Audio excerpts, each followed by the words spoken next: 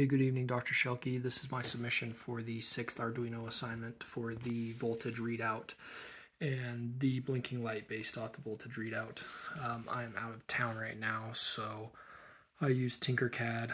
Um, I didn't want to bring my Arduino kit on vacation, so Tinkercad had everything that I needed. Um, here's my code, have all the variables set up. This is all built in printing out the voltage here. Um, and I got that from your video, but I just um, messaged it out so it didn't print that voltage of a given source. Um, here's my circuit, kind of a voltage divider um, ish.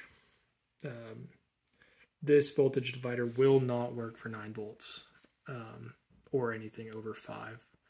I have to keep it under 5 if it was a physical Arduino, or else it would blow up the, um, the Arduino.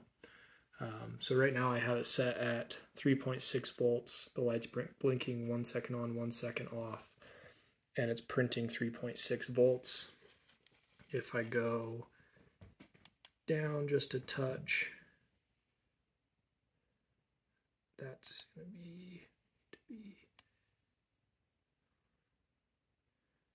just below 2.5 if I can get it here. There it is. So there's quarter second on quarter second off at 1.8 volts printing 1.8 volts. Um, and then if I pop it up to 4 volts or just over 4 volts or just on printing 4.2, reading 4.2, and then at 1.3, we're under printing 1.2, reading 1.2, light off. So to read anything over the 5 volts, um, I would have to set up a better example of a voltage divider.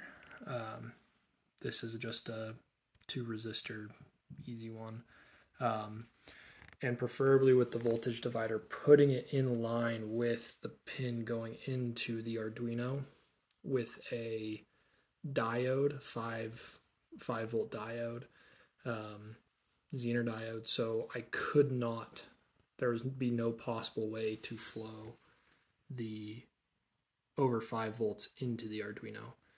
I think that would be the safest way to do this same program. Um, so yeah, sorry for using Tinkercad, but it works the same way. So let me know if you have any questions. Thanks. Bye.